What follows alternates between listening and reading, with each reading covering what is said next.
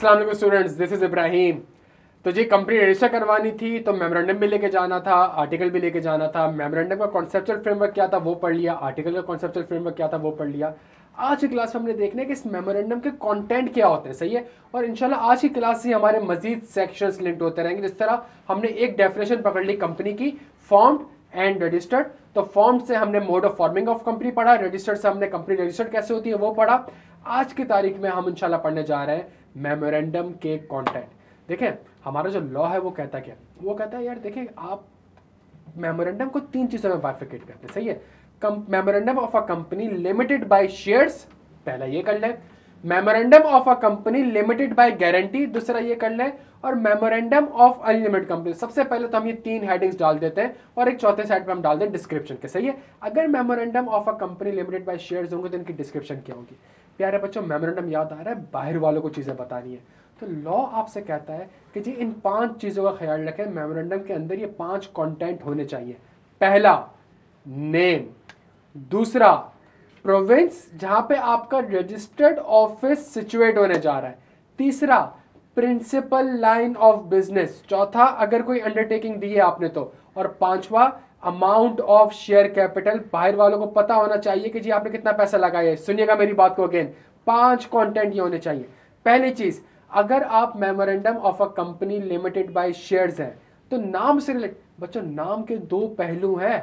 पहला पहलू आपका नाम क्या होगा? सही है let's say I Q School of Finance एक नाम है मेरा, ठीक है?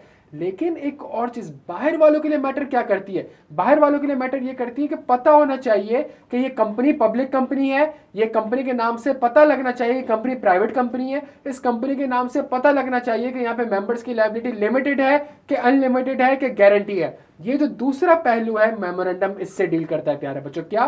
कि अगर आप एक पब्लिक लिमिटेड कंपनी है तो आपके नाम के साथ लिमिटेड आना चाहिए। अगर आईक्यू स्कूल ऑफ़ फाइनेंस एक पब्लिक लिमिटेड कंपनी है तो IQ School of Finance limited ये दूसरे पहलू की बात कर रहे हैं। सही? आपके वर्ड में लिमिटेड का वर्ड आना चाहिए। अगर आप एक प्राइवेट लिमिटेड कंपनी है तो आपके नाम के साथ प्राइवेट ब्रैकेट में लिखा आना चाहिए प्राइवेट लिमिटेड और लिमिटेड का word IQ School of Finance bracket private limited ये ताकि पता चले कि ये प्राइवेट कंपनी है। इसी तरीके से अगर आप एक सिंगल मेंबर कंपनी जो कि प्राइवेट कंपनी की एक सब टाइप होती है तो आपके नाम के साथ आना चाहिए। S M C dash private limited है? अगर एक for example I Q School of Finance में एक ही बंदे ने अगर I Q School of Finance बनाया तो, तो IQ School of Finance S M C private limited ये आना चाहिए। अच्छा नाम के सेक्शन को देखते हैं।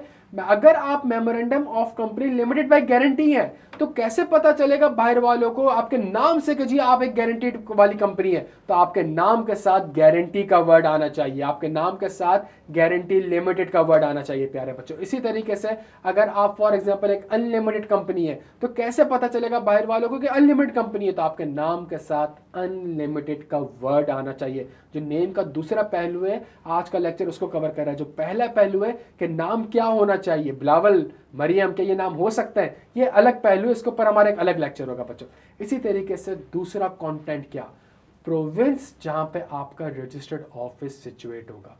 यार बच्चों, बड़ी लॉजिकल बात कर रहा हूँ, बड़ी लॉजिकल और ये तीनों जगह सेम चीज़ है, चाहे वो लिमिटेड बाय शेयर्स हो लिमिटेड बाय गारंटी हो अनलिमिटेड कंपनी हो, तीनों जगह पे सेम है कि प्रोविंस बता दें जहाँ पे आपका रजिस्टर्ड ऑफ़िस होगा। सर, असल में जगह क्यों नहीं बता रहे?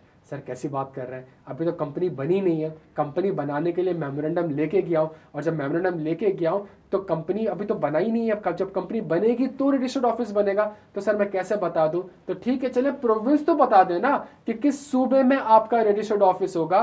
तो अगली रिक्वायरमेंट ये है मेमोरेंडम की कि जी, ये वो प्रोविंस है जहाँ पे मेरा रजिस्टर्ड ऑफ़िस सिचुएट होगा।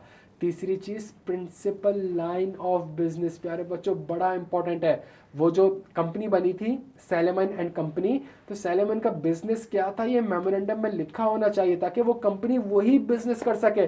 उसके अलावा और कोई बिज़नेस ना कर सके। और इसकी लॉजिक क्या है? मैं इंशाल्लाह थोड़ी देर में एक्सप्लेन करूँगा आपको। लेकिन बड़ा इंपॉर्टेंट है कि आपका तीसरा कॉन्टेंट ये हो प्रिंस अगर आप फॉर एग्ज़ाम्पल फॉर एग्ज़ाम्पल अगर आपका बिज़नेस है लेदर मर्चेंट का, और आप जाके बैठ के ट्रेडिंग कर रहे हैं गोल्ड में, या ट्रेडिंग कर रहे हैं बिटकॉइन में तो ये तो आपका प्रिंसिपल लाइन ऑफ़ बिज़नेस ही नहीं था। तो ये पता होना चाहिए, अगर कल को आप क्रेडिटर से भी डील कर रहे हैं तो क्रेडिट को पता होना चाहिए कि हाँ यार, वाकई में इसका बिज़नेस लेदर का है तो मैं इसको लेदर सप्लाई कर दूँ। सही है? अच्छा तो तीसरी चीज़ प्रिंसिपल ऑफ़ बिज़नेस तीनों जगह पे आपको बताने की ज़रूरत है। चौथी चीज़ अंडरटेकिंग क्या होती है? थोड़ी देर में एक्सप्लेन करता हूँ नेक्स्ट लेक्चर में।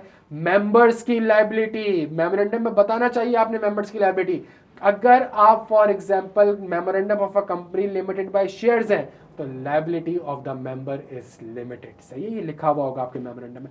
अगर आप memorandum of a company limited by guarantee है अगर memorandum of company limited by guarantee है तो सेम चीज़ आएगी कि जी liability of the member limited है, लेकिन and and and such amount as may be required not exceeding a specific amount that each member undertakes to contribute to the asset of the company in the events of its being wound up. अगर कल को company wind up हो गई तो मैं guarantee देता हूँ कि मैं डेढ़ लाख, दो लाख, ढाई लाख, चार लाख, पाँच लाख, इससे ज़्यादा नहीं, इतने रुपए आपको दूँगा, जो मैं एग्री कर रहा हूँ आज बैठ के। और तीसरी चीज़ मेमोरेंडम ऑफ़ अनलिमिटेड कंपनी और यहाँ पे कैटेगोरिकली मेमोरेंडम में लिखा हुआ आएगा that the liability of the member is unlimited प्यारे बच्चों।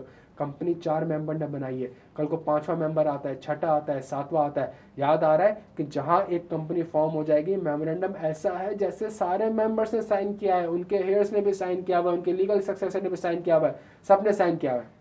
सबसे इंपॉर्टेंट चीज़ हमारे पास मेमोरेंडम कंटेंट ये आएगा। आखिरी चीज़ अमाउंट ऑफ़ शेयर और मैं बड़ी ज़बरदस्त बात करता हूँ memorandum is the agreement with outsider सही है? कल को बैंक ने अगर फॉर एग्जांपल कल को अगर कंपनी बैंक को पैसे नहीं दे सकती, और ये अनलिमिटेड कंपनी है तो मेमोरेंडम एक ऐसा document which is actually a contract between the bank and a company और कल बैंक को इस मेमोरेंडम के बेसिस पे जाके कह सकता है शेयर होल्डर को बेटा चलो आ जाओ अनलिमिटेड लाइबिलिटी तुम्हारी फॉरन से पैसे टेबल पर रखो, सही है? दैट ये फ़र्क है बिटवीन मेमोरेंडम आर्टिकल मेरा इंटरनल मैटर है, मेरे inter between shareholder and among shareholder between company and a shareholder memorandum external parties के लिए। और आखिरी चीज़ अमाउंट ऑफ़ शेयर कैपिटल अगर तो है, अगर तो है। अगर आप एक कंपनी में शेयर कैपिटल बना रहे हैं तो जी मेमोरेंडम में पता होना चाहिए, क्यों? ताकि क्रेडिटर को पता तो चले कि भाई आपने अपना पैसा कितना लगाया हुआ है। मुझसे तो उधार में माल मांग रहे हो, सही है? मुझसे तो लोन मांग रहे हो। आपका अपना पैसा कितना लगा हुआ है? Share capital the amount of share capital तो ये प्यारे बच्चों, हमारे पास जो है, ये हमारे पास मेमोरेंडम है डिफरेंट कंपनीज़ के। डिपेंड करता है, आप लिमिटेड बाय शेयर्स हो लिमिटेड बाय गारंटी हो अनलिमिटेड हो। अगर आप या तो पब्लिक हो गए या प्राइवेट हो गए। सही तो पब्लिक और प्राइवेट के लिए अगर पब्लिक हो तो लिमिटेड का वर्ड आना चाहिए। अगर आप प्राइवेट हो तो आपके साथ क्या कहते हैं? प्राइवेट लिमिट का वर्ड आना चाहिए। ठीक है? अगर आप for example private unlimited company है तो इसका मतलब मेमोरेंडम ऑफ़ अनलिमिटेड कंपनी में अनलिमिटेड का वर्ड तो फिर प्राइवेट लिमिटेड ना लिखेगा, फिर प्राइवेट अनलिमिटेड लिखेगा। अगर आप प्राइवेट गारंटी कंपनी है, सही, आप एक प्राइवेट कंपनी है, लेकिन आप कहते हैं कि जी मैं गारंटी भी दे रहा हूँ तो फिर आपके वर्ड के साथ गारंटी लिमिटेड भी आना चाहिए, प्यारे बच्चों। क्या यहाँ तक बात समझ आती है? ये हमारे पास मेमोरेंडम का कॉन्टेंट है। अगली सबसे इंपॉर्टेंट चीज़ हमारे पास ये है कि जी मेमोरेंडम के कंटेंट को अब किस तरीके से लिखना है, किस तरीके से प्रेजेंट करना है इंशाल्लाह नेक्स्ट क्लास में पढ़ते हैं। Thank you so much